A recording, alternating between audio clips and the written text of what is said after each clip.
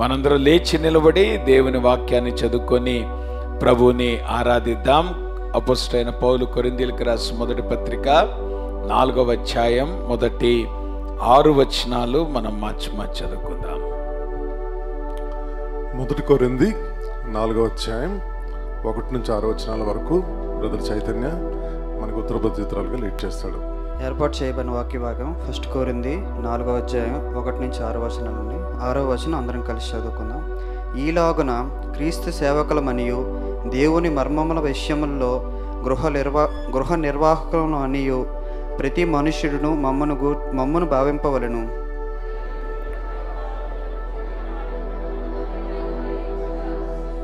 మీ చేతనైనను ఏ మనుష్యుని చేతనైనను నేను విమర్శింపబడుట నాకు మిక్కిలి అల్పమైన సంగతి. నన్ను నేనే విమర్శించుకొనను.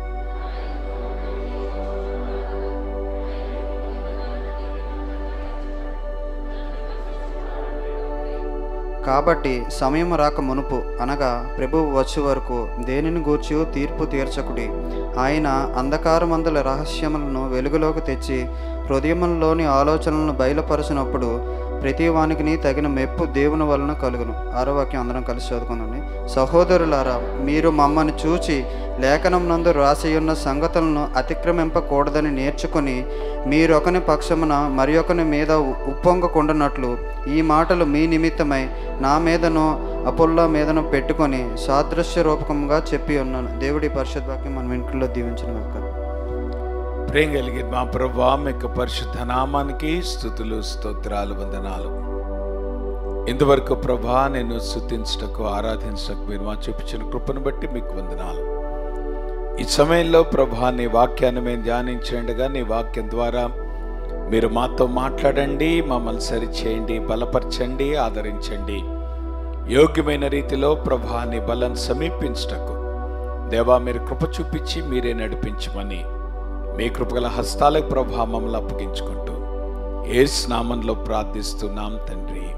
ఈరోజు మనం ప్రభు బలను సమీపించబోతున్నాం గనక దానికి అనుబంధంగా కొన్ని కొంత విషయాన్ని మనము ధ్యానం చేసుకొని ఈరోజు ప్రభు బలం సమీపించడానికి మనల్ని మనం సిద్ధపరచుకుందాం. కొరిందీలకు రాసిన పత్రికలో ఒక కామనాలిటీ మనం ఏమి చూస్తామనేటువంటిది గనక మనం గమనిస్తే దేవుని చేత పరీక్షించబడుట అనేటువంటి ఒక థీము కొరిందులకు రాసిన పత్రిక అంతా కూడా మనం గమనిస్తూ ఉంటాం.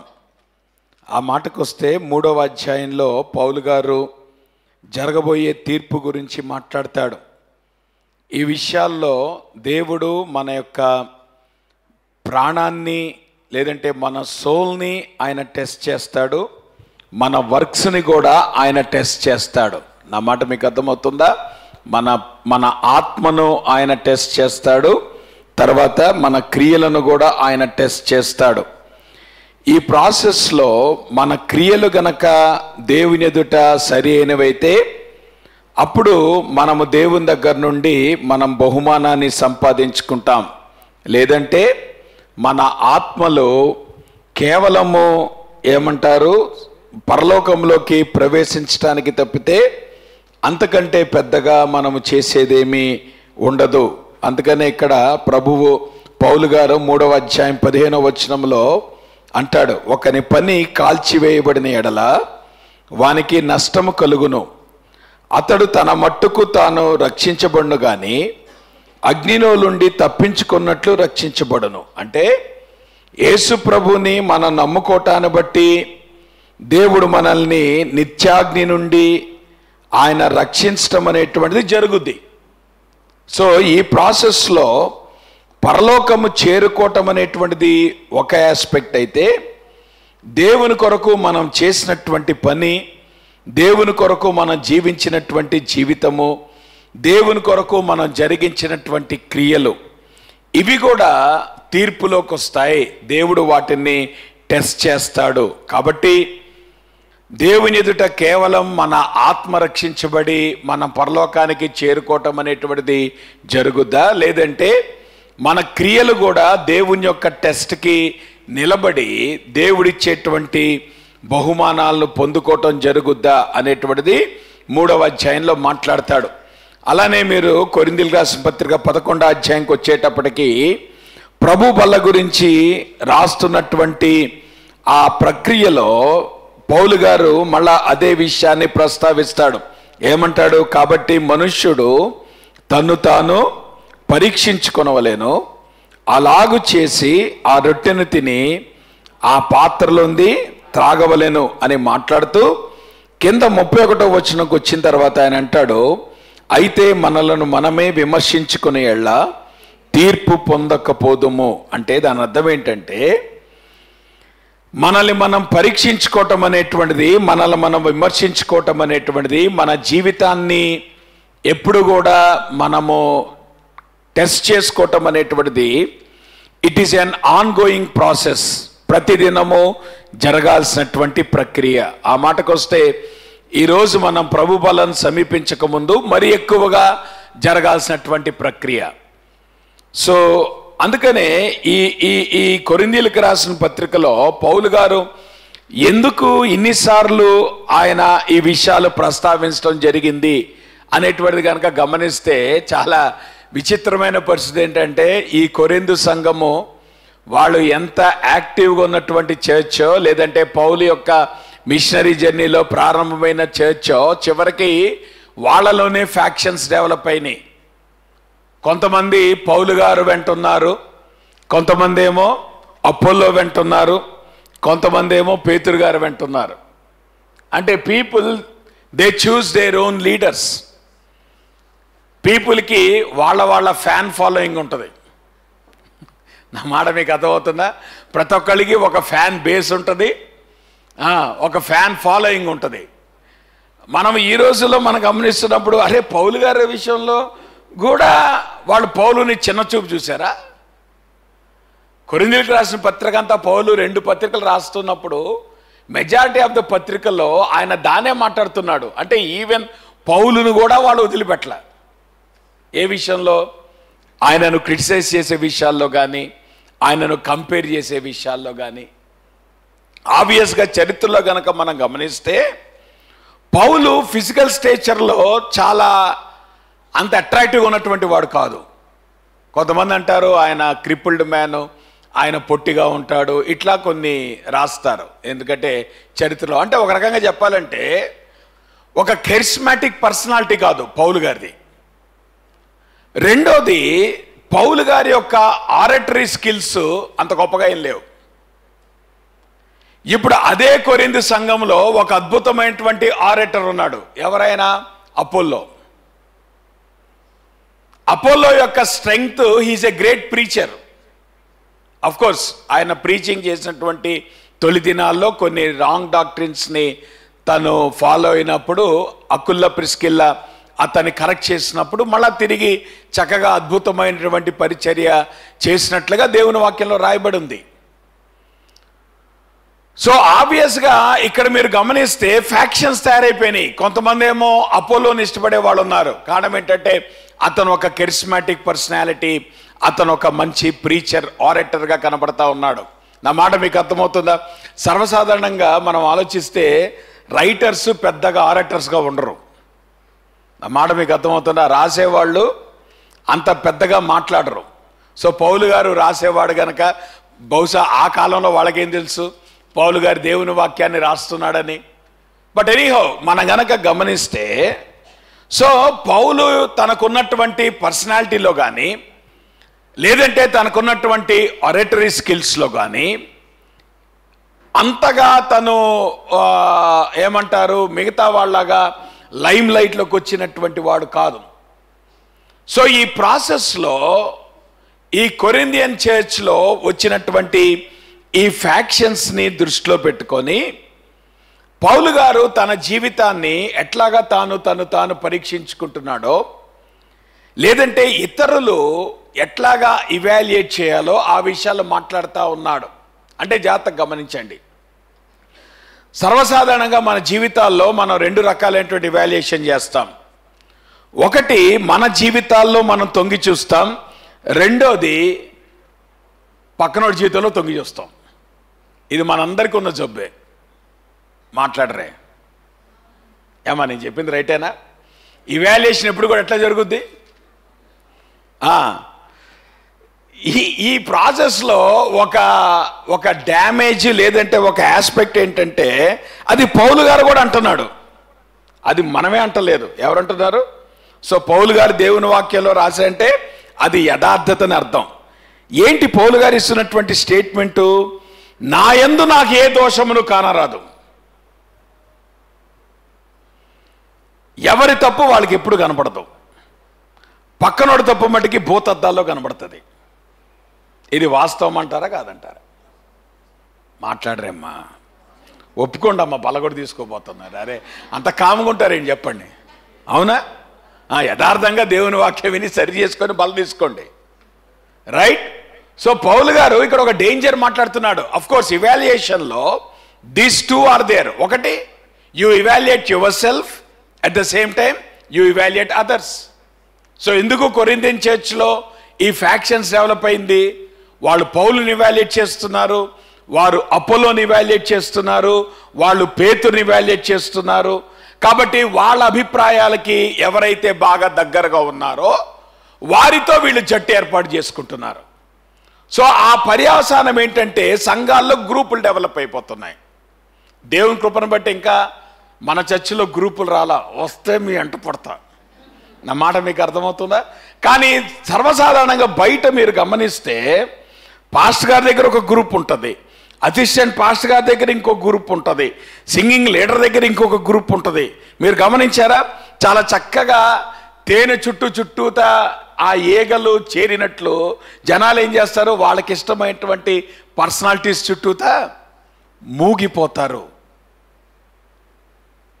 నా మాట మీకు అర్థమవుతుందా? So this happens very naturally human సైకాలజీనే ఇదేమి నేను అంటే నెగిటివ్గా మాట్లాడట్లా. But this is the human psychology so human సైకాలజీలో నిజానికి దేవుని వాక్య ప్రకారం మనము మనల్ని మనం ఇవాల్యుయేట్ చేసుకోవాలి.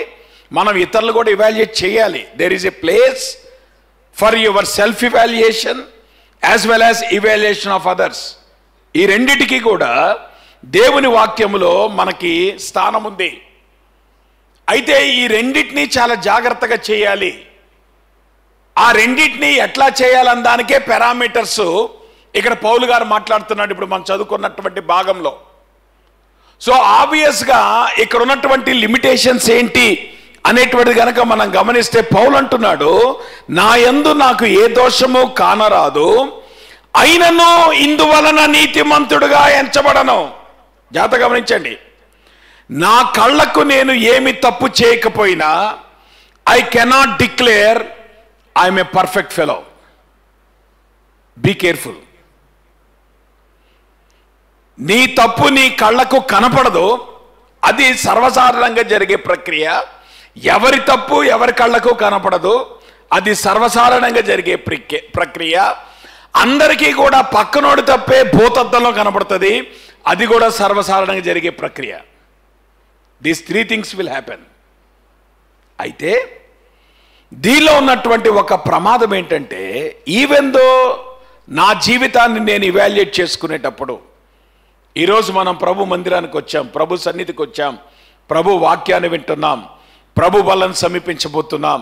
ఈ ప్రాసెస్లో ఇవాల్యుయేషన్ లేకుండా మనం ప్రభు బలం తీసుకోవటం మంచిది కాదు.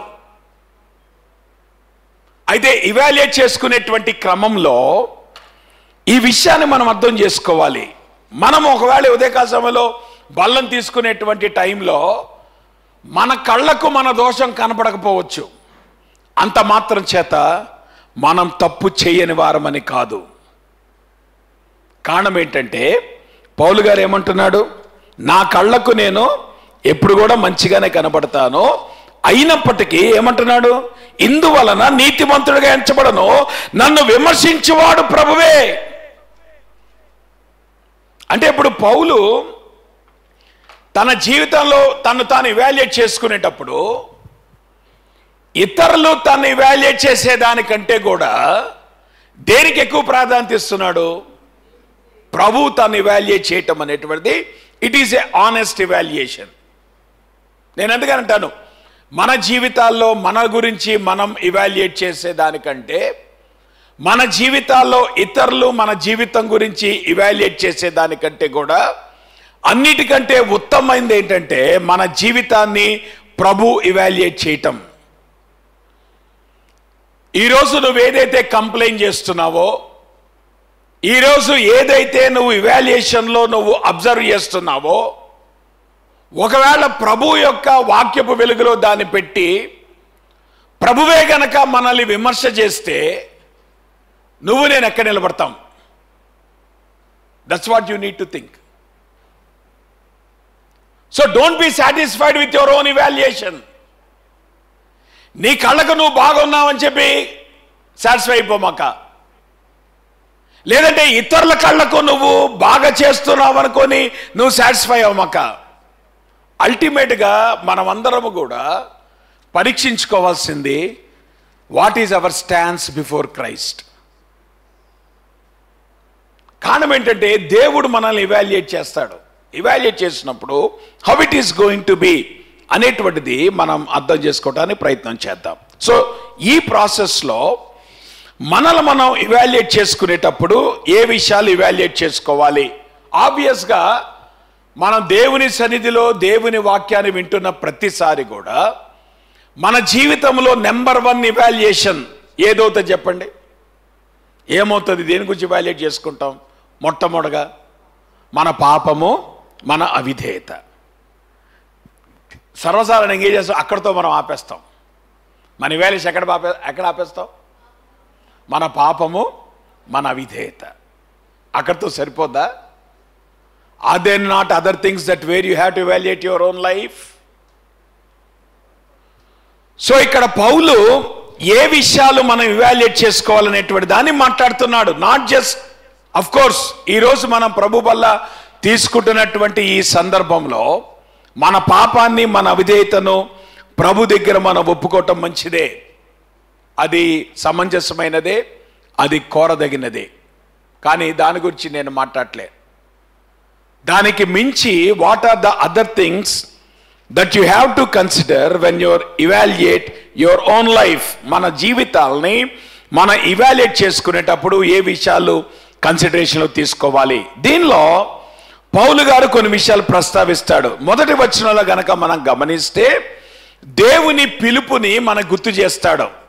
అంటే విశ్వాసులుగా దేవుని నమ్ముకున్నటువంటి వ్యక్తులుగా మనం ఎప్పుడైతే మన మారు మనసు పొంది మన పాపాల విషయంలో మనం పశ్చాత్తాపడి మనం బాప్తీసం తీసుకొని ప్రభు కొరకు జీవించడం అనేటువంటి ఒక ప్రక్రియ ప్రారంభమైనటువంటి వారి జీవితాల గురించి నేను మాట్లాడుతున్నాను. ఒకవేళ ఉదయకాల సమయంలో ఇంకా మీరు మారు మనసు పొందకపోతే ఇంకా ప్రభుని గనక మీరు అంగీకరించకుండా మీరు బాప్తీసం తీసుకోకుండా ఈరోజు ప్రభు బలలో మీరు చేయి వేసేటువంటి వారుగా మీరు ఉండకపోతే మీ జీవితాల్లో మొట్టమొదటిది మీరు ప్రభుని అంగీకరించాలి.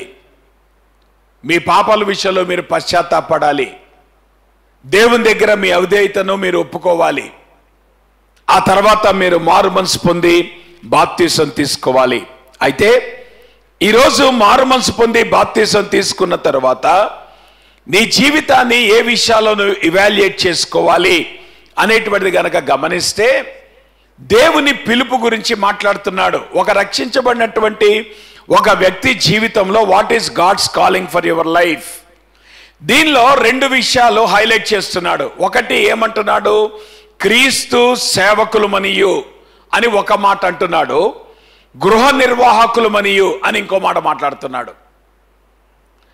అంటే రక్షించబడినటువంటి ప్రతి వ్యక్తి కూడా మొట్టమొదటగా నీవు సరి చేసుకోవాల్సింది నువ్వు ఇవాల్యుయేట్ చేసుకోవాల్సింది నీ మీద దేవుని పిలుపు ఉందనే విషయాన్ని అర్థం చేసుకో. ఆ దేవుని పిలుపులో ఇవి రెండు కూడా భాగం. ఒకటేమన్నాడు? క్రీస్తు సేవకులం అన్నాడు యాక్చువల్గా ఇక్కడ గ్రీక్లో చాలా డిఫరెంట్ వర్డ్ పౌలు యూజ్ చేశాడు.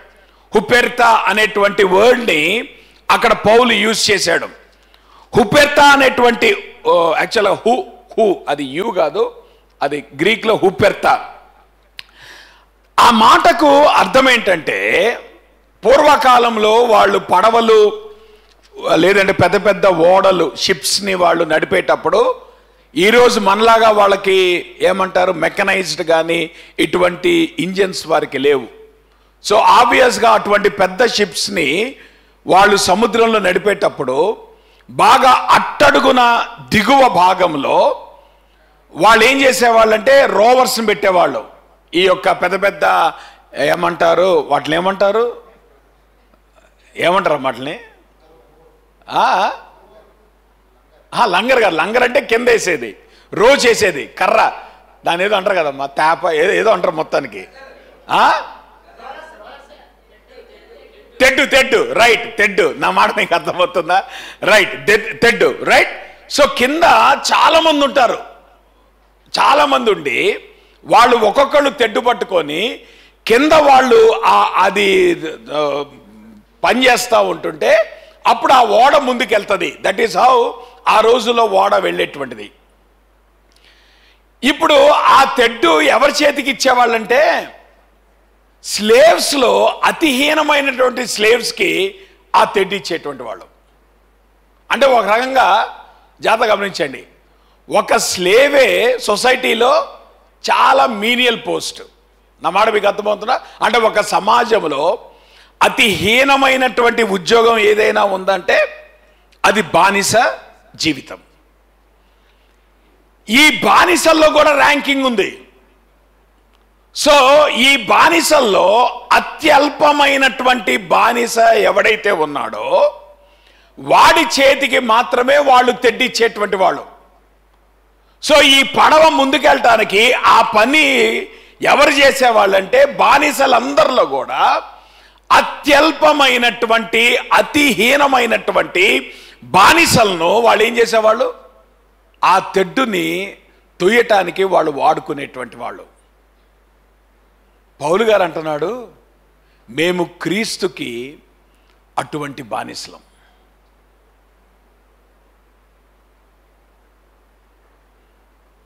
అన్నిటికంటే అట్టర్మోస్ట్ అంటే ఆ బానిసకు ఉన్నటువంటి పనల్లా ఏంటంటే మా ఇది డిస్కనెక్ట్ అయినట్టుంది.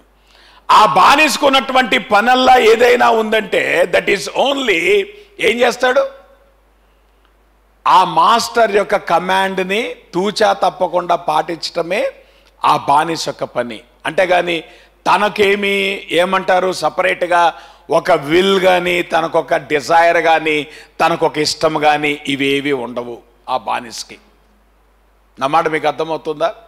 సో ఇప్పుడు పౌలు తను తాను ఎట్లా చూస్తున్నాడంటే నేను క్రీస్తుకి అటువంటి బానిసని. అమ్మ ఉదయకాల సమయంలో మనం ఆలోచించుకోవాలి. నిజంగానే మన జీవితాల్లో యేసు ప్రభు కోసం అటువంటి బానిసలుగా మనం బతుకుతున్నామా? ఆయన చెప్పింది చేస్తున్నామా? బానిసకేమీ సొంత ఇష్టమే ఉండదే. బానిసకేమి తన డిజైర్స్ ఏమి ఉండవే. ఆ మాటకు వస్తే మాస్టర్ యొక్క డిజైరే తన డిజైర్. మాస్టర్ యొక్క పనే తన పని. ఈరోజు ఈ లోకంలో మనం ఎట్లా జీవిస్తున్నాం? ఎందుకు మన డిజైర్స్ని మనం చంపుకోలేకపోతున్నాం? ఎందుకు మనం అన్ని విషయాల్లో దేవునికి అప్పగించుకోలేకపోతున్నాం? సో ఈ ఉదయకాల సమయంలో యూ నీడ్ టు అండర్స్టాండ్ దేవుడు మనకిచ్చిన పిలుపు ఏంటంటే మనము క్రీస్తునకు సేవకులం. అంటే దాని అర్థం ఏంటంటే మన జీవితాల్లో అన్ని విషయాల్లో దేవుడు చెప్పిందే నడవాలి. నీ సొంత ఇష్టం ఉండటానికి వీలు లేదు. నీ సొంత ఆలోచన ఉండటానికి వీలు లేదు. నీ సొంత కోరిక ఉండటానికి వీలు లేదు. That is the calling of God on our life ఉదయకాల సమయంలో వీ నీడ్ టు టెస్ట్ ప్రభు వల్ల తీసుకోకముందు నువ్వు వేసుకోవాల్సిన ప్రశ్న ఇది. నీ జీవితాన్ని ఇవాల్యుయేట్ చేసుకో. అన్ని విషయాల్లో దేవునికి అట్లా లోబడుతున్నావా? నీ కోరికలు నీ ఇష్టాలు అన్నీ పక్కన పెట్టేసి ఒక హీనమైనటువంటి బానిస ఏదైతే తనకు అప్పగించబడినటువంటి పనిని ముందుకు తీసుకొని వెళ్తున్నాడో ఈరోజు క్రైస్తవులు అని పేరు పెట్టుకునేటువంటి మనము యేసు ప్రభుని కలిగి జీవిస్తున్నామని చెప్తున్నటువంటి మనము are we doing the same evaluate చేసుకోండి. రెండో విషయం అంటాడు మేము గృహ నిర్వాహకులం. కదా జనరల్గా ఇంగ్లీష్లో ఆ మాటను మేనేజర్ అని అంటారు. గ్రీక్లో ఐకనామాస్ అంటారు. నామాస్ అంటే ప్రిన్సిపుల్. అంటే the principal of the household అని అర్థం. అంటే గృహానికి ఉన్నటువంటి కట్టుబాట్ల ప్రకారం జీవించేటువంటి వాడు. ఒక గృహానికి ఉన్నటువంటి కట్టుబాట్ల ప్రకారం జీవించేటువంటి వాడు. సో ఈ ప్రాసెస్లో గృహము ఎవరిది? అమ్మ గృహం మనదా దేవుందా? అదేంటి పాస్టర్ గారు? నేను కష్టపడి చదివి ఉద్యోగం చేసి ఇల్లు కట్టుకున్నాను. ఈ ఇల్లు ఎవరిదండి మీరు పెట్టుకుంటారు కదమ్మా ఇల్లు కట్టుకున్నప్పుడు చక్కగా భలే బోర్డులు పెడతారు. అబ్బో బోర్డులకి ఏం తక్కువ లేదు. అసలు కళ్ళు తిరిగితే ఆ బోర్డులు చూస్తాయి ఈ గృహమునకు క్రీస్తే అధిపతి. అబ్బబ్బబ్బబ్బబ్బా. అవునా నిజమేనా? బోర్డులు ఎవరు కావాలమ్మా? నిజంగా జీవితాలు అట్లా ఉన్నాయా లేదా? అంటే పౌలు ఇక్కడ ఏమంటా అంటే యు ఆర్ ఎ మేనేజర్ జాత గమనించండి. మేనేజర్ బై డెఫినిషన్ ఆయన ఓనర్ కాదు. నా మాట మీకు అర్థమవుతుందా? కంపెనీలో ఓనర్ని ఏమంటారు? Right MD right. మేనేజర్ని ఎవరన్నా బాస్ అంటారా? మేనేజర్ ఎవరైనా ఓనర్ అంటారా? అఫ్కోర్స్ మేనేజర్ బాస్ అంటారులేండి. కానీ మేనేజర్ ఓనరా? లేదంటే మేనేజర్ కంపెనీ ఎండికి లెక్క అప్పగించాలా? So who is the owner and who is the manager so ఇప్పుడు జాగ్రత్త గమనించండి. మనము దేవుని గృహములో ఇప్పుడు మనం ఎవరో చెప్పండి? మరేంటమ్మా బాసుల్లో బతుకుతారేంటి? కదా? అసలు మన వ్యవహారం అంతా బాసుల్లాగా ఉంటుంది. హలో? ఇక్కడ ఎవరు బాసులు లేరు? ఇక్కడ అందరూ మేనేజర్సే. నా మాట మీకు అర్థమవుతుంది. ఎవ్రీబడి ఈజే సో దేవుని హౌస్ హోల్డ్ని మేనేజ్ చేయడానికి మనం పిలవబడ్డాం కానీ దేవుని హౌస్ సంఘం ఎవరిదమ్మా? సంఘానికి బాస్ ఎవరు? యేసుప్రభు వారు సంఘంని ఎవరు ఓన్ చేసుకుంటాడు? చెప్పండి. గ్రేస్ బ్యాప్టిస్ట్ చర్చ్ ఎవరిది? గట్టిగా చెప్పండి ఏంటమ్మా? అంత మొహోడ పడతారని చెప్పండి. గ్రేస్ బ్యాప్టిస్ట్ చర్చ్ ఎవరిది? దేవునిది. సో గ్రేస్ బ్యాప్టిస్ట్లో నేను ఎవరిని? ఓ మేనేజర్ అంతే. మీరందరూ ఎవరు? మీరు కూడా మేనేజర్ అయ్యి మరీ అబ్బబ్బలే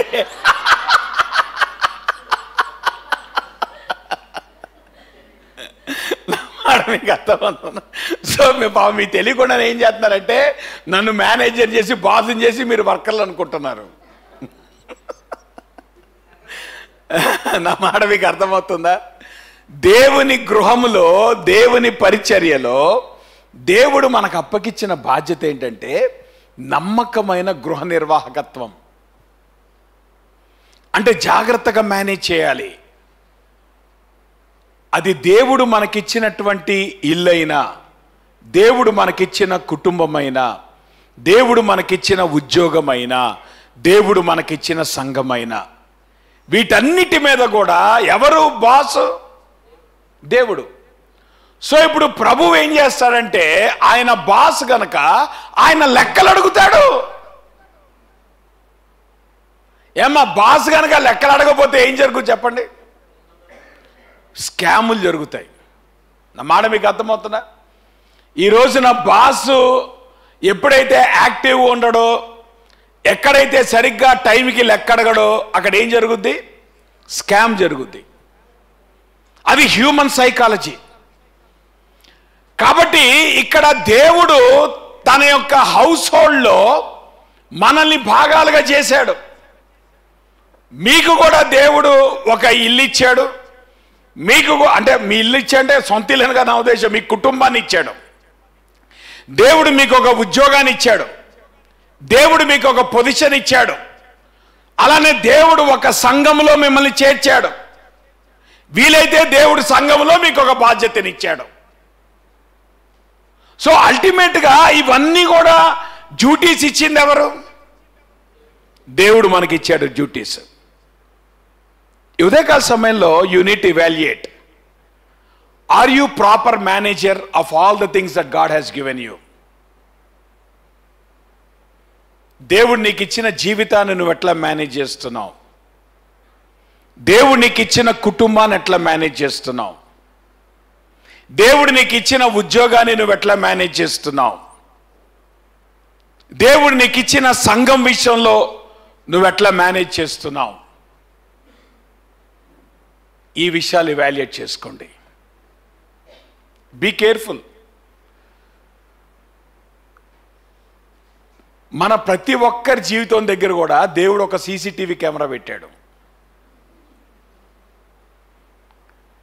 ఆ సీసీటీవీ కెమెరాకి అన్లిమిటెడ్ స్పేస్ ఉంది స్టోరేజ్. ఆ సీసీటీవీ కెమెరాకి పవర్ ప్రాబ్లం కూడా లేదు. Hard disk hard disk failure అసలే లేదు దానికి. అంటే ఇప్పుడు మనము మారు మనసు పొందిన దగ్గర నుండి అంటే మారు మనసు పొందకముందు దేవుడు సీసీటీవీ కెమెరా పెట్టడం. ఎందుకంటే నువ్వు ఆడి నరకానికి వెళ్ళిపోతావు కాబట్టి. ఏమా నరకానికి వెళ్ళేవాడు సీసీటీవీ కెమెరా ఎందుకు? మాట్లాడరేంటమ్మా? మీకు అర్థమవుతుందా? మా- మారు మనసు పొందకపోతే నిన్ను సీసీటీవీ కెమెరా ఎందుకు?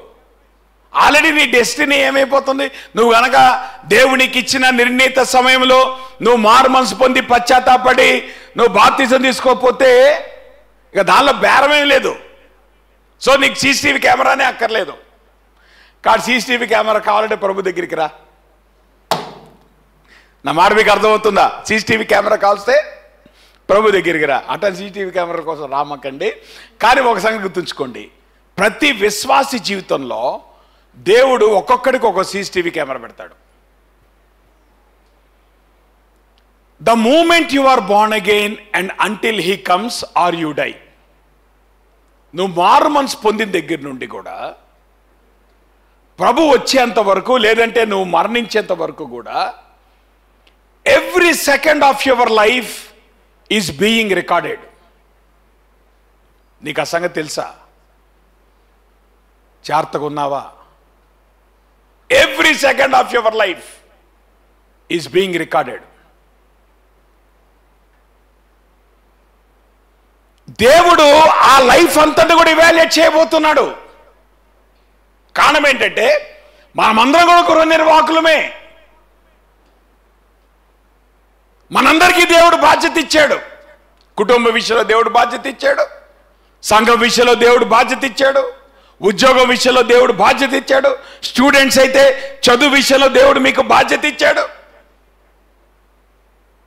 సో ఇనేవే ఇక్కడ కూర్చున్న మనం అందరము కూడా we are call to be stewards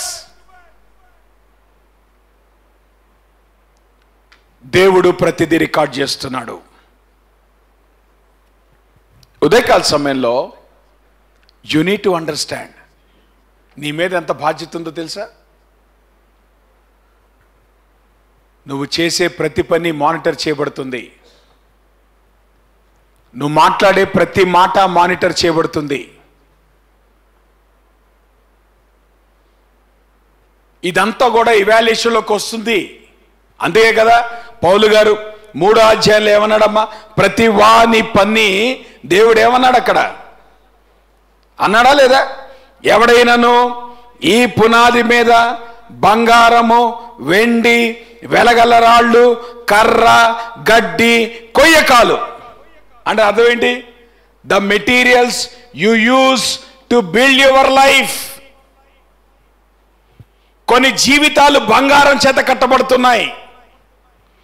కొన్ని జీవితాలు వెండి చేత కట్టబడుతున్నాయి. కొన్ని జీవితాలు వెలగల రాళ్ళ చేత కట్టబడుతున్నాయి. కొన్ని జీవితాలు కర్ర చేత కట్టబడుతున్నాయి. కొన్ని జీవితాలు గడ్డి చేత కట్టబడుతున్నాయి. కొన్ని జీవితాలు కొయ్యకాలుతో కట్టబడుతున్నాయి.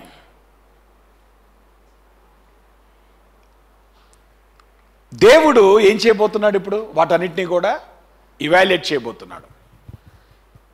ఇవాల్యుయేట్ చేసినప్పుడు what is that good that's going to remain ఏమి రిమైన్ అవుతుంది? ఏమి మిగలబోతా ఉంది? ఉదయకాల సమయంలో ఇవాల్యుయేట్ చేసుకో. ప్రభు బలం తీసుకోకముందు ఈ విషయాలు ప్రభు దగ్గర ఒప్పుకో. ఈ విషయాలు ప్రభు దగ్గర సరి చేసుకో. ఒకవేళ దేవుడు గనక నీకు చూపిస్తా ఉంటుంటే ఇట్స్ టైం సో దేవుడు మనల్ని ఆయన ఇచ్చిన కాలింగ్ ఏంటంటే ఆయన మాటకు లోబడేటువంటి బానిసలం మనం. లేదంటే సర్వెంట్స్ వ్యక్తులం మీరు ఏదైనా అనుకోండి. ప్రతి విషయంలో ఆయన మాట మనం నెరవేరుస్తున్నామా లేదా? ఇవాల్యుయేట్ యువర్ ఓన్ లైఫ్ దేవుడు నీకు అప్పగిచ్చిన పని విషయంలో what is that you are going to do evaluate your own life దేవుని యొక్క ఎక్స్పెక్టేషన్ ఏంటి? దేవుడు మనకి గృహ నిర్వాహకులుగా చేసినప్పుడు దేవుడు మనకి ఆయన పని అప్పగించినప్పుడు వాట్ ఈస్ గాడ్స్ ఎక్స్పెక్టేషన్ ఇక్కడ ఏమంటున్నాడు అక్కడ? మరియు గృహ నిర్వాహకులలో ప్రతి వాడును నమ్మకమైన వాడై ఉండుట అవశ్యము. ఒక రకంగా చెప్పాలంటే ఇక్కడ పౌలు గారు అంటున్నాడు ఆ మర్మము విషయంలో మీరు నమ్మకస్తులై ఉండాలి. నా మాట మీకు అర్థమవుతుందా? దేవుడు అప్పగిచ్చినటువంటి ఆ యొక్క నా మాట మీకు మొదటి వచనంలో అన్నాడు. ఏమన్నాడు అక్కడ? ఇలాగు క్రీస్తు సేవకులమనియు దేవుని మర్మముల విషయములో గృహ నిర్వాహకులమనియు ప్రతి మనుష్యుడు మమ్మను భావింపవలెను మరియు గృహ నిర్వాహకులలో ప్రతి వాడును నమ్మకమైన వాడై ఉండుట అవశ్యం. అంటే దాని అర్థం ఏంటి? దేవుడు అప్పగిచ్చినటువంటి మర్మములు ఏదైతే ఉన్నాయో ఆ మర్మముల విషయంలో నువ్వు నమ్మకస్తుడై ఉండాలి. ఆ మాటకు వస్తేనమ్మా మీరు ఉద్యోగాలకు వెళ్ళినప్పుడు మీ రెజ్యూమేలో ఏ బాస్ అయినా ఏది చూస్తాడు? ఆ మాట మీకు అర్థమవుతుందా? అంతకుముందు కంపెనీ ఎందుకు వదిలేసావు ప్రాబ్లం ఏమైనా ఉందా? వాడు ముందు అక్కడే అడుగుతాడు ప్రాబ్లం ఏమైనా ఉందా? నేను కూడా అదే ఎవరైనా వేరే చర్చిని వచ్చారు అమ్మ మీరు ఆ చర్చ ఎందుకు మార్చారని అడుగుతాను నేను. హౌస్ విజిటింగ్కి వచ్చినప్పుడు ఎందుకు అడుగుతాను? ఆ చర్చ్ మానేసి ఈ చర్చికి ఎందుకు వస్తున్నారు? రావద్దని కాదు. కానీ ఐ నీడ్ టు నో. నా మాట మీకు అర్థమవుతుందా? Is there any problem is there any trust issue involve ఆ కంపెనీ వాళ్ళు ఎందుకు నేను పంపించేశారు? నువ్వేం చేసావని కంపెనీ వాళ్ళు పంపించేశారు? సో ఎప్పుడు కూడా మనం గమనిస్తే ఒక పని దేవుడు మనకు అప్పగించినప్పుడు ఆ మాటకు వస్తే సెక్యులర్గా కూడా people expect you to be trustworthy నేను అనుకుంటాను ట్రస్ట్ కనుక లేకపోతే అసలు నువ్వు చేసే ఉద్యోగాన్ని విలువ లేదు. అవునంటారా కాదంటారా? దానివల్ల అసలు యాక్చువల్గా కంపెనీకి లాభం రాదు. సో ఆబ్వియస్గా ట్రస్ట్వర్దినెస్ అనేటువంటి చాలా ఇంపార్టెంట్ నీ ఉద్యోగంలో దేవునికి ఇచ్చిన పనిలో. నువ్వు ఎంత నమ్మకంగా ఉంటే దేవుడు అంతగా నేను దీవిస్తాడు. నువ్వెంత స్కిల్ఫుల్గా ఉంటే కాదు. మనం అనుకుంటాం ఉద్యోగాల్లో స్కిల్ ఉంటే బాస్ గమనిస్తాడేమో అనుకుంటాం. కాదు కాదు. బాస్ ఎప్పుడు కూడా నీ స్కిల్ని చూడమ్మా ఎందుకంటే స్కిల్ ఉన్నోడు బోళ్ళు మంది ఉన్నారు బాస్ ఎప్పుడు చూసే నీ నమ్మకత్వాన్ని? నువ్వు నమ్మకస్తుడు అయితే నీకు స్కిల్ లేకపోయినా బాస్ నేను కొనసాగిస్తాడు.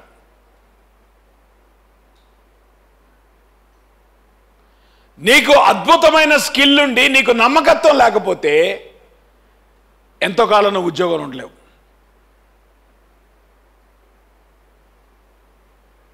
సో ఆబ్వియస్గా for any work that you do అది సెక్యులర్ అయినా లేదంటే స్పిరిచువల్ అయినా అది ఏదైనప్పటికీ your trustworthiness matters so much నమ్మకత్వం కలిగి ఉండాలి. నీ జీవితంలో నమ్మకత్వం ఉండాలి. నువ్వు చేసే పనుల్లో నమ్మకత్వం ఉండాలి. నువ్వు మాట్లాడే మాటల్లో నమ్మకత్వం ఉండాలి. ప్రతి విషయంలో కూడా నమ్మకత్వం అనేటువంటిది హైయెస్ట్ లెవెల్లో ఉండాలి. అనవసరంగా కక్కుర్తి పడమాక. Be careful God expects higher level of integrity integrity విషయంలో దేవుడు కాంప్రమైజ్ అవ్వడు. దేవుడు నీకు ఒక పని అప్పగించాడంటే he expects highest level of integrity from you సమస్య లేదు.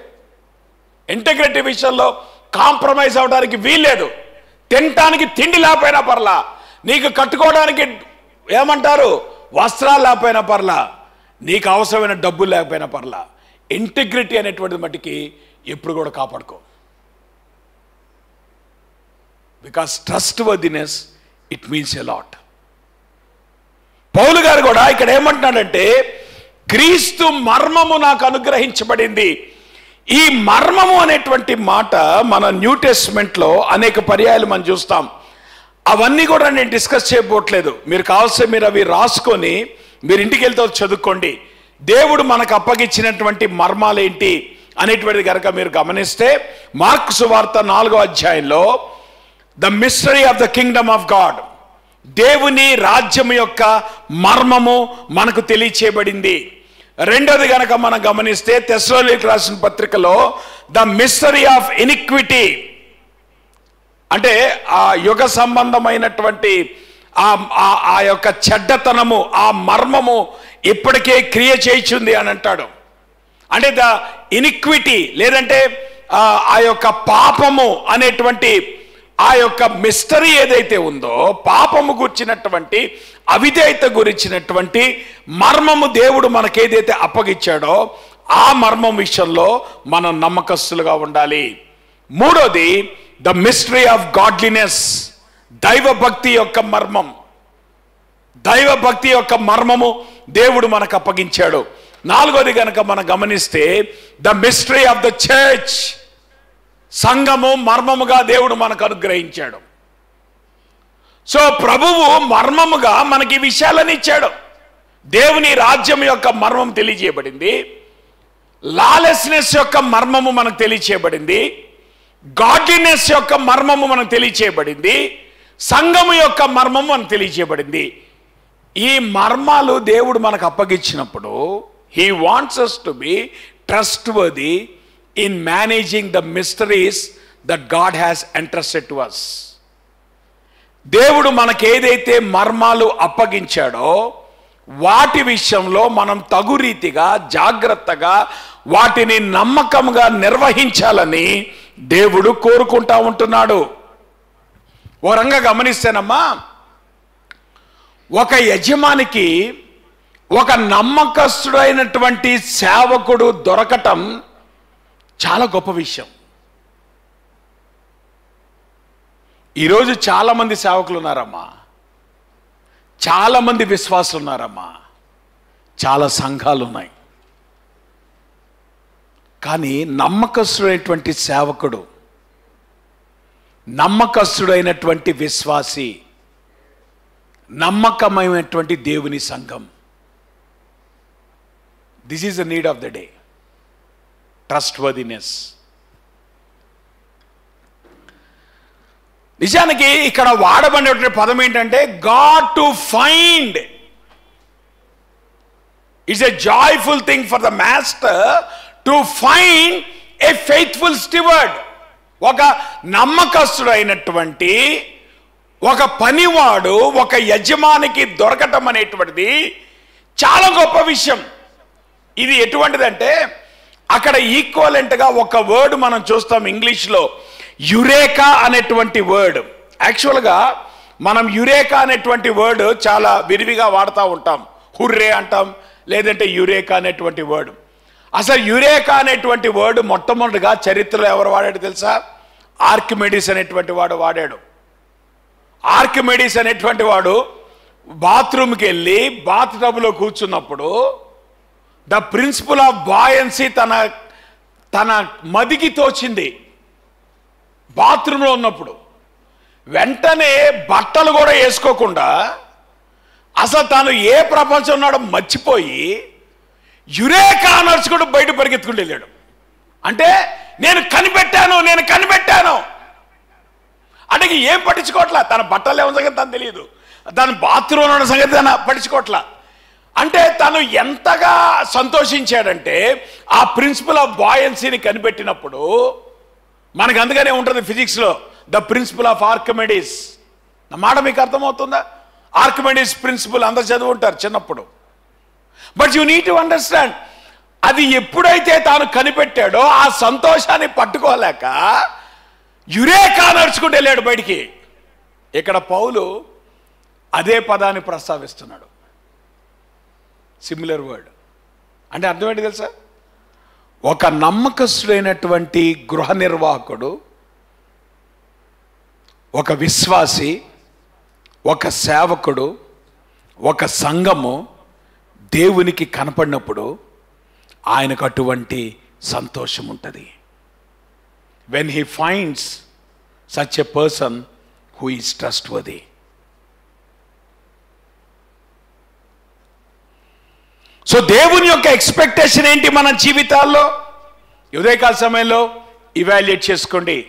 How trustworthy you are దేవునికి అప్పగించిన విషయాల్లో దేవునికి అప్పగించిన జీవితంలో దేవునికి అప్పగించిన కుటుంబంలో దేవునికి అప్పగించిన ఉద్యోగంలో దేవునికి అప్పగించిన సంఘములో. How trustworthy you are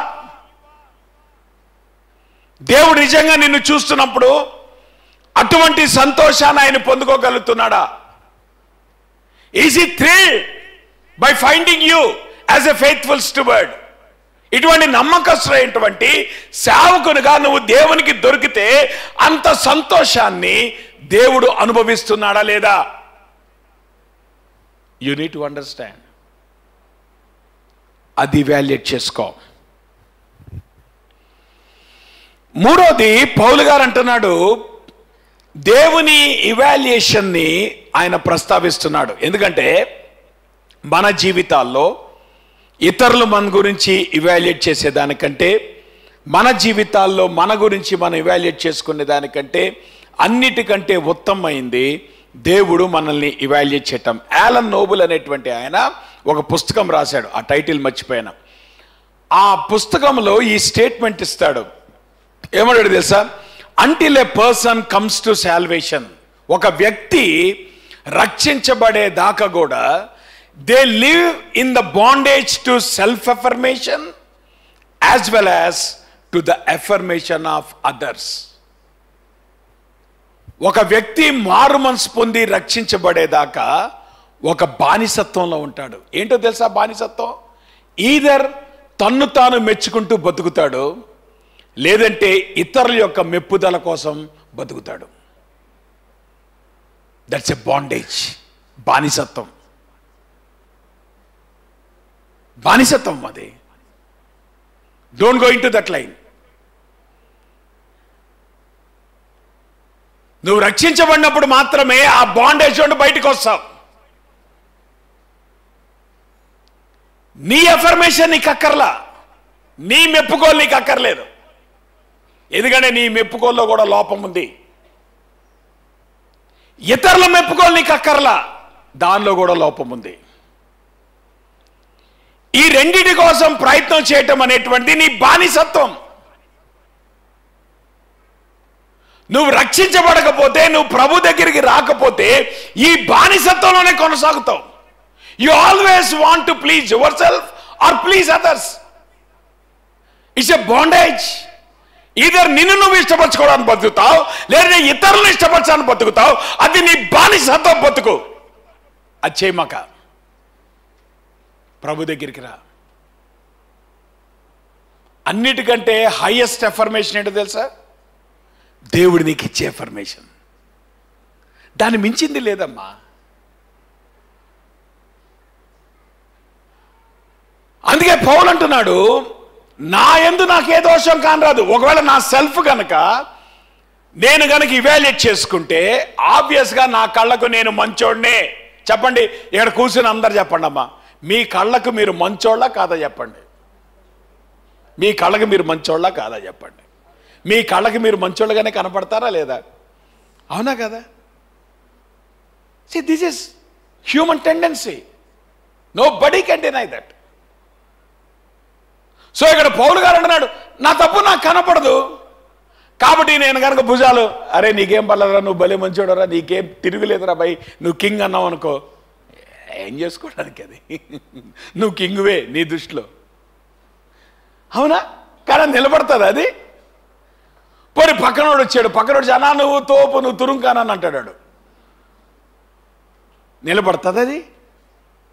రెండు వేస్టే. అసలు ఏంలోకి వెళ్ళమక్క నిన్ను నువ్వు మెచ్చుకోవడానికి ప్రయత్నం చేయమక్క. ఇతరుల చేత మెప్పించబడటానికి ప్రయత్నం చేయమక్క. రెండు కూడా బానిసత్వం. నీ రక్షణలో దేవుడు నేను స్వతంత్రునిగా చేశాడు. ఈ స్వాతంత్రం ఎక్కడుందో తెలుసా? When you get God's affirmation on your life దేవుని మెప్పుకోలు నీ జీవితం మీద ఉండాలి. దేవుడు నీ జీవితాన్ని ఎఫ్ఎం చేయాలి. దేవుడు నీ జీవితాన్ని నిలబెట్టాలి. నేను ఎందుకంటాను God only makes the ultimate assessment of one's life ఎవరి జీవితం గురించి అయినా కానీ మనము మనము మన అసెస్మెంట్ కరెక్ట్ కాదు ఇతరుల యొక్క అసెస్మెంట్ కరెక్ట్ కాదు ఓన్లీ దేవుని యొక్క అసెస్మెంటే నిలబడుతుంది. అల్టిమేట్గా it is only God's opinion that counts దేవుని అభిప్రాయం మాత్రమే నిలబడుతుంది. అల్టిమేట్గా మన జీవితంలో ఆడియన్స్ ఎవరంటే దేవుడే. నిన్ను నువ్వు చూసుకోకల్లా నువ్వు ఇతరులను చూడక్కర్లేదు. నిన్ను చూస్తున్నవాడు ప్రభు. నీ అల్టిమేట్ ఆడియన్స్ ఎవరు తెలుసా? దేవుడు మాత్రమే. అందుకే పౌలు గారు చాలా స్పష్టంగా అంటున్నాడు. మీరు నా గురించి ఏమని అనుకోండి? ఆల్రెడీ పాపం కొరిందియన్ చర్చిలో ఫ్యాక్షన్స్ వచ్చేసినాయి. ఆల్రెడీ ఒక గ్రూపు నా మాట మీకు అర్థమవుతుందా? ఒక గ్రూప్ ఏమో ఎవరు ఎవరి దగ్గరికి వెళ్ళారు? అపోలో దగ్గరికి వెళ్ళారు. ఇంకో గ్రూప్ ఏమి ఎక్కడికి వెళ్ళారు? ఇంకో గ్రూప్ ఏమేం చేశారు? ఇంకొక ఆయన దగ్గరికి వెళ్ళారు. పౌలు గారు అన్నాడు, అరే మీరు ఏం గ్రూపులను చేసుకుంటారా భయ్? నన్ను విమర్శించేవాడు దేవుడు. దిస్ ఈజ్ అల్టిమేట్ మీ అసెస్మెంట్ నాకెందుకు? మీరు నా గురించి ఏమనుకుంటా నాకెందుకు? ఇట్ మ్యాటర్స్ నథింగ్ అంటే ఒక రకంగా ఇది పౌలేమి మీకు నేను లెక్క అప్పగించక్కర్లేదు. నేను మీకు అకౌంటబుల్ కాదు. దేవుడే నేను చూసుకున్నాను యారగెంట్గా మాట్లాడట్లేదు. మనుషులు ఎదుట తాను ఏ ఏ విషయాలు జాగ్రత్త పడాలో ఆ విషయాలు జాగ్రత్త పడుతున్నాడు. అయినప్పటికీ కూడా అందరినీ ఇంప్రెస్ చేయలేడు. ఆబ్వియస్గా ఆ పరిస్థితి దేవునికి అప్పగిస్తున్నాడు. అందుకే పౌలు అంటున్నాడు ఈ ఇవాల్యుయేషన్లో మనం ఎప్పుడైతే దేవుని దగ్గర మనం మనం ఇవాల్యుయేట్ చేసుకుంటామో అల్టిమేట్గా ప్రతి వానికి తగిన మెప్పు చెప్పండి ఎవరి వల్ల కలుగుద్ది? దేవుని వల్ల కలుగుద్ది. అదమ్మా.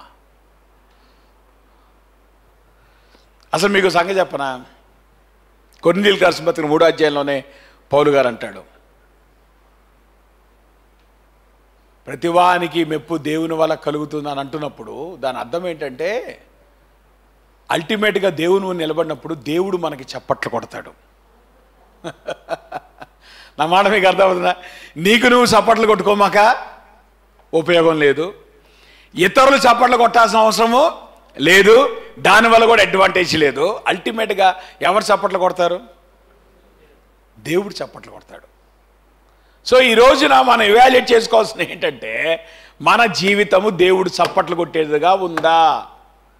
దట్ ఈస్ ఇవాల్యుయేషన్ ప్రతివానికి మెప్పు క్రీస్తు వల్ల కలుగును దేవుని వల్ల కలుగును.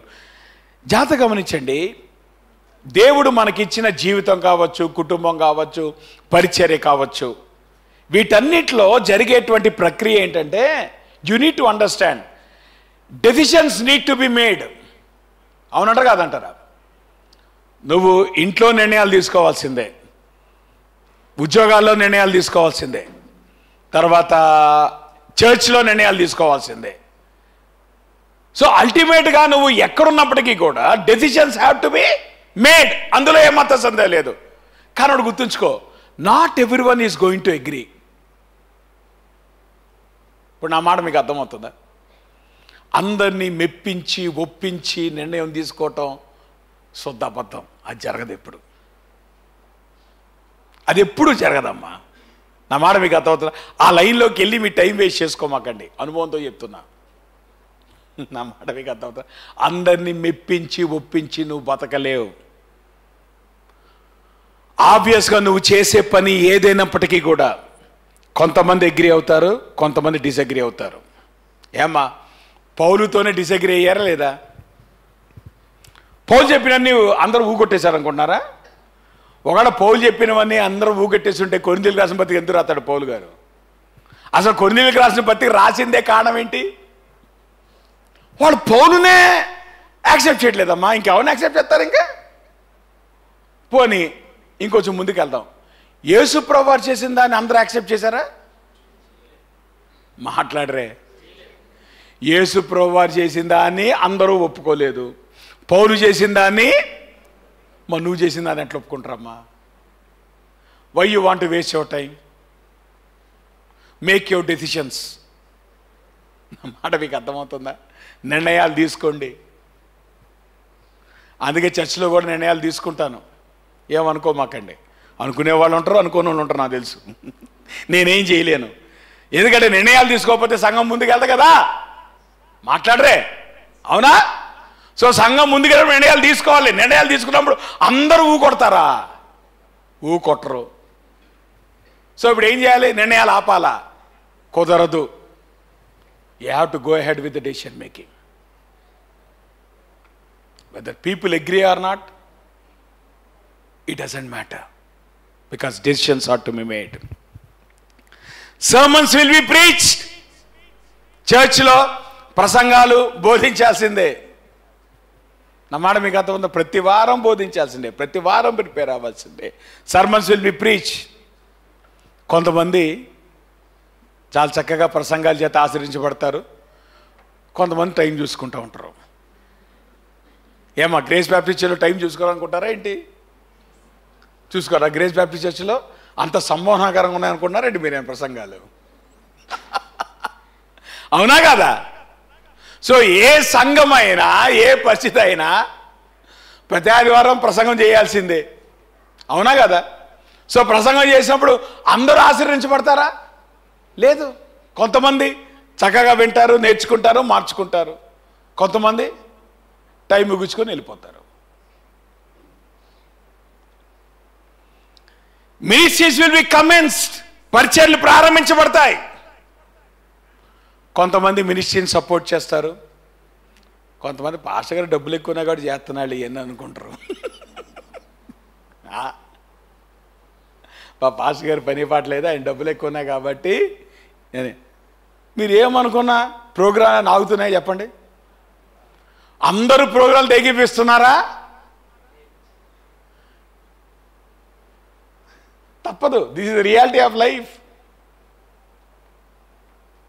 so you need to understand so ఒక నాయకునిగా లేదంటే దేవుడు మీకు ఇచ్చిన కెపాసిటీస్లో బాధ్యతలో your ultimate allegiance is not to the church or to any individual or to any tradition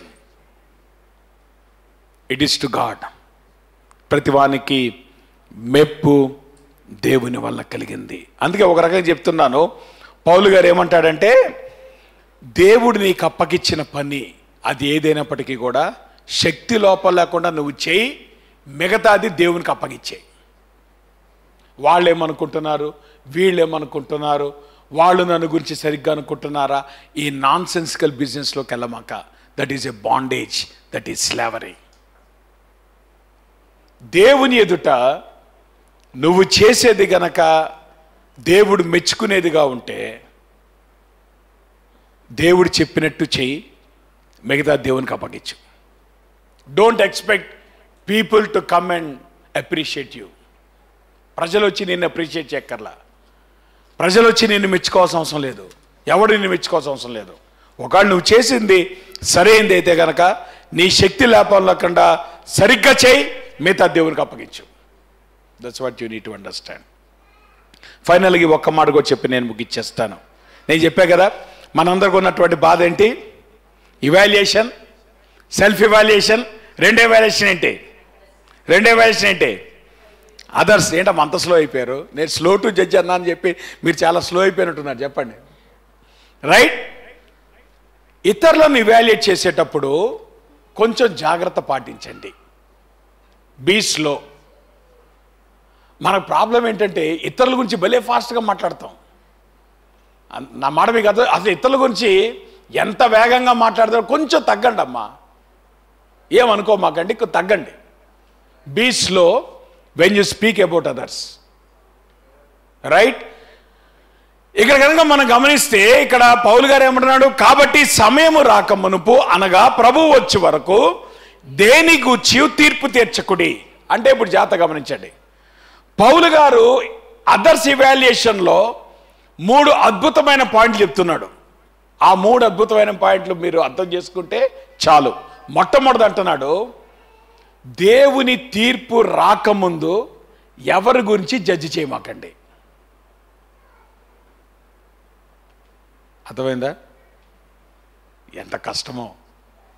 అసలు ఇప్పుడు నుండి చర్చి నుండి బయటికి వెళ్ళంగానే ముందు ఫస్ట్ మీ ఆయన్ని మీ ఆవిడని తీర్పు తీర్చేస్తారు మీరు. మీ పిల్లల్ని తీర్పు తీర్చేస్తారు. అవునా కదా? ఏమో తీర్పు ఎంత ఫాస్ట్గా వస్తుంది మనకి? అక్కడికి బయటకు వెళ్ళగా రే ఇప్పటిదాకా ఏం విన్నావు నువ్వు? ఒక డైలాగ్ పడిపోద్ది ఇప్పటిదాకా ఏం విన్నావేంటి నీకేం ఎక్కినట్లేదు. అర్థమవుతుందా? డైలాగ్ పడిపోద్ది. నా మాడవి కాదు ఎవరి విషయంలో? నిజమే నువ్వేం విన్నావు? నువ్వేం మార్చుకున్నావు? అదక్కర్లా. ఆడేం మార్చుకున్నాడు నీకెందుకు? నా మాట మీకు అర్థమవుతుందా? పౌలు గారు ఏమంటున్నాడంటే ఎప్పటిదాకా నోరు మీయమన్నాడు? ఇతరుల గురించి మాట్లాడేటప్పుడు. నేను అనుకుంటానమ్మా ఇది మనకు బహు అసాధ్యమైంది. అవునా? ఎందుకంటే దీనిలో మనం సూపర్ ఫాస్ట్ ఉంటాం. వందే భారత్ ఇది. వందే భారత్. ఇది ఎక్కడ? ఇతరులను? జై పౌలు గారు ఏమంటున్నాడు? Be slow. ఎంత స్లో? ప్రభు వచ్చేంతవరకు మాట్లాడమాక. దాని అర్థం ఏంటి తెలుసా? ప్రభు వచ్చే వరకు ఉన్నటువంటి సమయంలో నీ అంచనాలు తలకిందులైతే జాగ్రత్త. ఏ వ్యక్తి విషయంలో అయినా కదమ్మా. ఒక వ్యక్తిని ప్రభు ఎంతలో మార్చగలడు అనుకుంటారు మీరు? ఒక వ్యక్తిని ప్రభు ఎంత నిలబెట్టగలడు అనుకున్నాడు? నువ్వు ఈరోజు ఏ వ్యక్తినైతే తక్కువ చూస్తున్నావో ప్రభు రాకలోపు దేవుడు నీ అంచనాలు తలకింతులు చేస్తాడు. అప్పుడు నువ్వేం చేస్తావు? ఏం చేస్తావు? ఛాన్స్ లేదా? సో అందుకని ఇక్కడ పౌల్ గారు ఏమన్నాడు ఇతరుల గురించి నీ అసెస్మెంట్ విషయంలో నువ్వేం చేయాలి? స్లో డౌన్ ఎప్పటిదాకా? నువ్వు చచ్చేదాకా until you die don't speak about others నా మాట మీకు అర్థమవుతున్నా డోంట్ ఇవాల్యుయేట్ సి మనం కన్స్ట్రక్టివ్ కన్స్ట్రక్టివ్ క్రిటిసిజం ఇట్లాంటి మనం చేయొచ్చు కరెక్షన్స్ చేయొచ్చు. But don't pass a value judgment be careful రెండవది you are judging by wrong standard నువ్వు దేని బట్టి తీర్పు తీరుస్తున్నావు? ఒక వ్యక్తి విషయంలో నువ్వు దేని బట్టి ఇవాల్యుయేట్ చేస్తున్నావు? సమాజం చెప్పిన దాన్ని బట్ట? సంస్కృతిని బట్ట? లేదంటే నువ్వు ఏదైతే కుటుంబంలో పెరిగావో ఆ విధానాలను బట్ట? ఎట్లా జడ్జి చేస్తున్నావు? దేవుని వాక్యం బట్టి జడ్జి చేస్తున్నావా? ఒక వ్యక్తి దేవుని వాక్యాన్ని అతిక్రమించినప్పుడు కదా నువ్వు సరి చేయాల్సింది. సమాజం కాదు కదా నిర్దేశించేది. నీ కట్టుబాట్లు కాదు కదా నిర్దేశించేది. సో దాన్ని బట్టి నువ్వు ఎట్లా సరి చేస్తావు? సో ఒక వ్యక్తిని నువ్వు సరి చేయాలంటే రైట్ స్టాండర్డ్ ఏంటి? It's word of God. దేవుని వాక్యం ఏం చెప్తుందో చూడు. ఆ దేవుని వాక్య ప్రకారం ఆ వ్యక్తి ఉన్నాడో లేదో చూడు. ఆ దేవుని వాక్య ప్రకారం గనక ఆ వ్యక్తి లేకపోతే అప్పుడు జాగ్రత్తగా మాట్లాడు. అంతేగాని మా ఇంట్లో ఇదండి మా పద్ధతి ఇదండి కట్టిపెట్టు. ఎవడికి కావాలి నీ పద్ధతి? ఎవడికి కావాలి నీ tradition? It's not your tradition that matters it is God's word దేవుని వాక్యము అల్టిమేట్ స్టాండర్డ్ ఆ దేవుని వాక్య ప్రకారం సరి చేసుకోవాల్సిందే ఎవరమైనా. మూడోది ఏమంటున్నాడు? You are judging with wrong motive చూడండి మన ప్రాబ్లం ఏంటంటే మనం పక్కన వాడిని మనం కరెక్ట్ చేసేటప్పుడు మనం ఉప్పొంగుతూ ఉంటాం. మాట్లాడరే. ఏమ్మా నేను చెప్పేది కరెక్టా కదా? మన స్వభావం ఏం చెప్పండి? పక్కనోడిని కరెక్ట్ చేయాల్సి వస్తే ముందు మనం ఏం చేస్తూ ఉంటాం? ఉప్పొంగుతూ ఉంటాం. దీనికి ఇక్కడ వాడబడినటువంటి పదం ఏంటో తెలుసా? సర్వసాధారణంగా ఇది మీకు అర్థం చేసుకోవటానికి ఈ లాంగ్వేజ్ స్పోర్ట్స్లో వాడతారు. మీరు గమనించారా? సపోజ్ ఒక వరల్డ్ కప్ కోసం ప్రయత్నం చేస్తున్నాను అనుకోమ్మా ఇండియా పాకిస్తాన్ మ్యాచ్ వచ్చింది. వరల్డ్ కప్ ఫైనల్లో. ప్రెస్ కాన్ఫరెన్స్ పెడతారు. ప్రెస్ కాన్ఫరెన్స్ పెట్టినప్పుడు కెప్టెన్స్ కూర్చొని మాట్లాడతారు. టీమ్ మేనేజర్స్ కూర్చొని మాట్లాడతారు. ఏమని మాట్లాడతారు? మేము అంత ప్రాక్టీస్ చేయలేదండి. రేపు కొంచెం కేసు అనుమానంగా ఉందండి. ఒకడికేమో జ్వరం వచ్చిందండి ఇంకోటికేమో తలనొప్పిగా ఉందంటే అండి అని మీరు మాట్లాడారు అనుకోమ్మా మరుసటి రోజు గేమ్ ఎట్టా ఉంటుంది చెప్పండి. వర్కౌట్ అవుతుందా? సో ఇప్పుడు వాడు ముందు రోజు ఎందుకు ప్రెస్ కాన్ఫరెన్స్ పెడతాడు? ముందు వాడు ఏం చేస్తాడంటే సైకలాజికల్గా అవతల టీంని వాడు దెబ్బ కొట్టని చూస్తాడు. ఏమంటాడు? అసలు మా టీం ఖతర్నాక్ ప్రిపేర్ అయిందండి. అసలు వీఆర్ రెడీ ఇప్పటికిప్పుడైతే మేము వెళ్ళిపోయి గేమ్ గెలిచేస్తాం. మా దగ్గర ఉన్న స్ట్రెంగ్త్ ఏంటి తెలుసా? మాకు ఈ ఫలానా బౌలర్ ఉన్నాడు. ఆయన రికార్డ్ ఏంటి తెలుసా? ఈ బ్యాట్స్మెన్ ఉన్నాడు. ఈయన రికార్డ్ ఏంటి తెలుసా? అంటే మీరు గమనించారా? ఇది స్పోర్ట్స్లో ఒక స్ట్రాటజీ ఏంటి ఆ స్ట్రాటజీ నీకున్నదానికంటే ఎక్కువ చెప్పటం. ఇది ఒక స్ట్రాటజీ ఎందుకు దీన్నే పఫింగ్ అప్ అంటారు. అంటే నువ్వు గనక తక్కువ చెప్తే అది సైకలాజికల్గా ఇంపాక్ట్ అయ్యి అది ఒకవేళ రిజల్ట్ మీద తప్పుడు సంకేతం ఇస్తుందేమో అని చెప్పి నిజానికి నీకు లోపల ఒకళ్ళు సిక్కుగా ఉన్నా కానీ ఆ విషయాలేం చెప్పకుండా అంత పాజిటివ్ బిల్డప్ ఇస్తావు. ఏ విషయంలో? నువ్వు ఎదుర్కొనేటువంటి మ్యాచ్ విషయంలో. పౌలు గారు ఇక్కడ అదే మాట మాట్లాడుతున్నాడు. ఏమంటాడు? మీరు ఒకని పక్షమున మరి ఒకని మీద ఉప్పు కొండుకున్నట్లు. అంటే అర్థం ఏంటంటే మనము ఇతరులను జడ్జ్ చేసే విషయంలో భలే ఉప్పొంగుతాం ఇంకా ఎంత మనం స్పిరిట్స్లో ఉంటామంటే ఆ స్పిరిట్ త్వరగా దిగదు. మాడవి గారు ఆ స్పిరిట్ దిగదు. కారణం ఏంటి? That is a motive that you have కానీ ఇతరులను ఇవాల్యుయేట్ చేసేటప్పుడు that is not the right way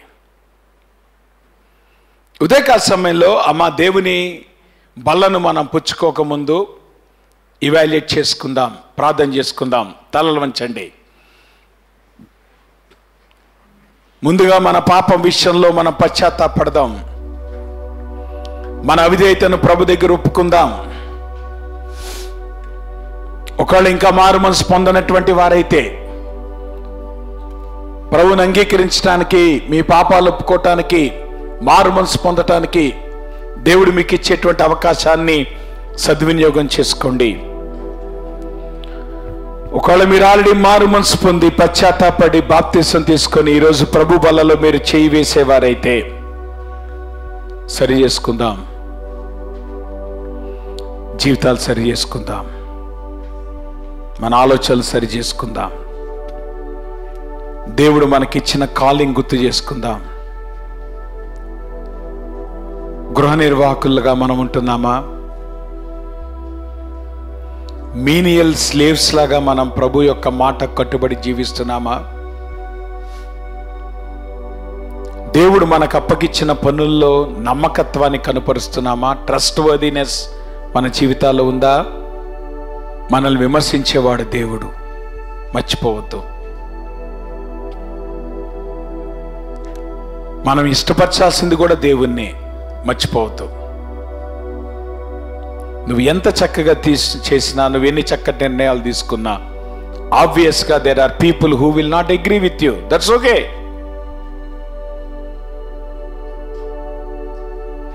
దేవుని నువ్వు మెప్పిస్తే చాలు. దేవుని మెప్పు కొరకు జీవించు.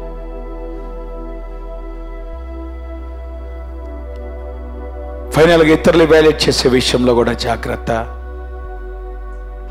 పీస్లో టు జడ్జ్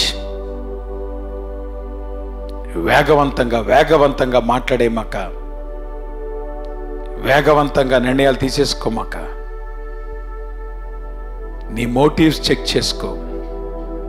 దేవుని వాక్యపు వెలుగులో నువ్వు నీ కార్యాలు సరి చేసుకో. వీలైతే ప్రభు రాకడ వరకు కనిపెట్టే ఓపిక నీకు ఉండాలి because God can change even before he's coming అప్పుడు నీ అంచనాలు తలకిందులవుతాయి జాగ్రత్త.